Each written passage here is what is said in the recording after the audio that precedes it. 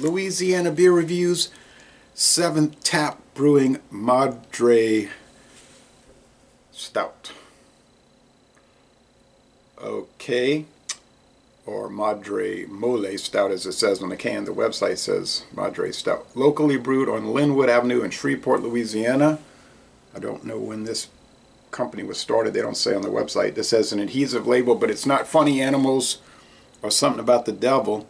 It's just um, a terracotta pot with different chili peppers, some peanuts, and other ingredients. I see uh, cinnamon, banana, pecans. So it's photographs. Kind of a nice change of pace for craft beer. Something more dignified. Uh, brewed and canned by the 7th Tap Brewing Project LLC. There's about 200 check-ins on Untappd. Beer, Beer Advocate and Rate Beer only have one each review of it. And this is the first video review for this product in the world. Bought this at Dorignac's. It was $4.99 for the can. Let's hope it's great.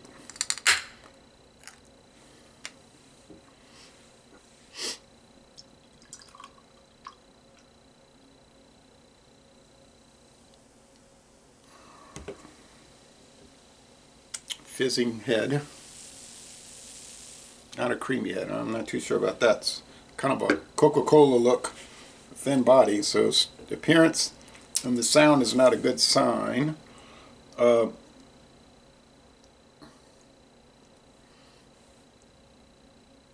Madre Mole Stout. And it says at Feda Photo. F-E-D-E, Feda Photo. So that's who took it, I guess. Really nice looking uh, label, actually. All right.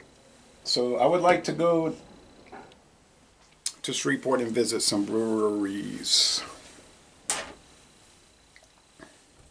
So no head and no lacing.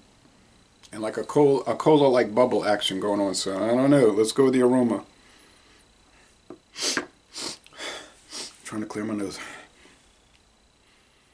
Um, yeah, chili, spice, dark roasted malts.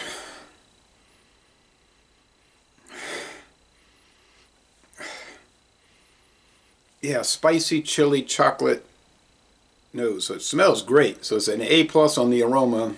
It's like a C minus on the appearance and the, that sound.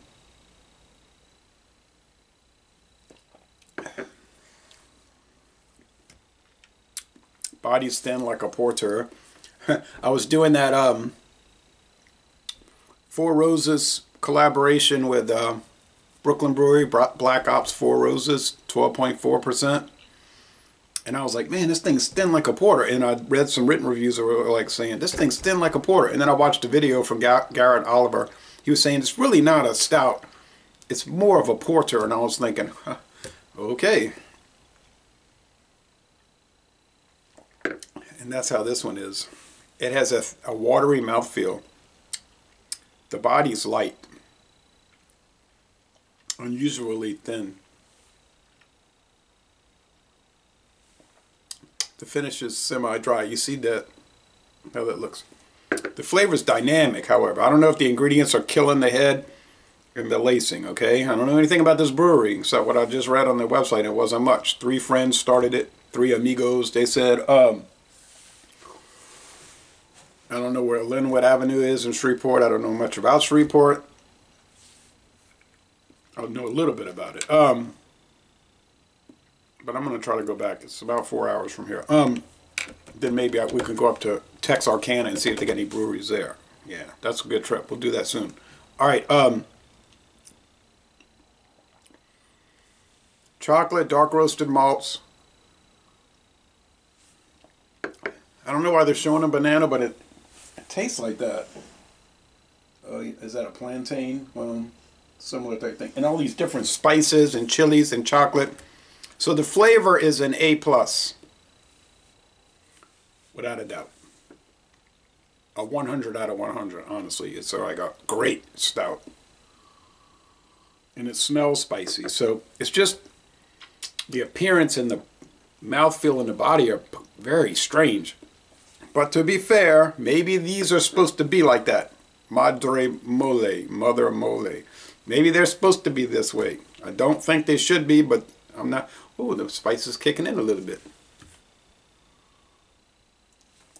Some of y'all might remember when Dos Equis had the uh, pale ale, which was spiced with fire ant tears.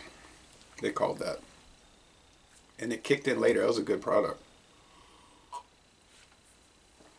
So I'm only going to dock it for the mouthfeel and the body, but I'm only going to dock it down to 97.